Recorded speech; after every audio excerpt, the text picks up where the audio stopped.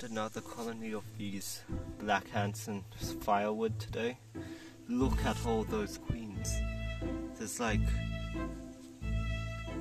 one queen for every five workers in there. All of those are queens, those big ones. Oh gosh. Hmm. I should keep the species someday. Yeah, they seem cool.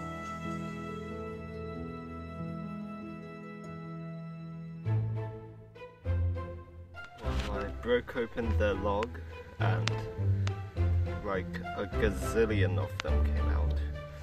I've managed to capture maybe a couple hundred workers and quite a few queens. They can not really climb well, but they're gonna be getting out. I wish I brought Fluon. I'll have to do something about this vegetable oil maybe. I'll find a way. But yeah, this is going to be an awesome colony. See all those big ones? All queens. The ants. The ants have now gone into their log and they're resting. Estimate. Estimate there's like, look, there's a queen there. That's a queen.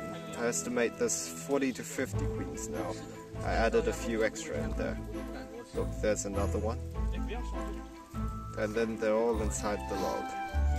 Most of them. Here they are, all nice and settled. I love these ants. They're so obedient. Three, four, five queens in there. There's gonna be a few more around. Yep, there's another one in the middle there. Plenty. Hopefully they'll inbreed. And then after a year I'll have a gazillion queens. They are going absolutely crazy forward. Even the queens are coming out. Can count at least 10 on the surface here. And this shouldn't even be the half of it. It ain't even honey, it's just plain water. The wild must be cruel. Goodness knows how fast they'll grow in capti- captivity. I like them. I've got a massive nest waiting for them. Should be enough to fit double their current population. I hope. Look at that.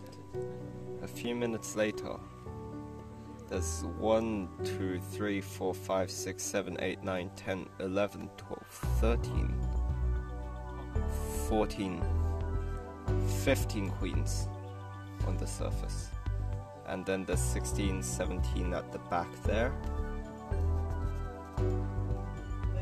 17 queens. And that's not even the half of them. Most of them are in this log here. I'd estimate 50 to 100 queens. That's a lot of eggs. I don't know how I'll keep up, but apparently Thais eat insects, so I'll be able to buy them in bulk and feed it to these. Yeah, that'll work.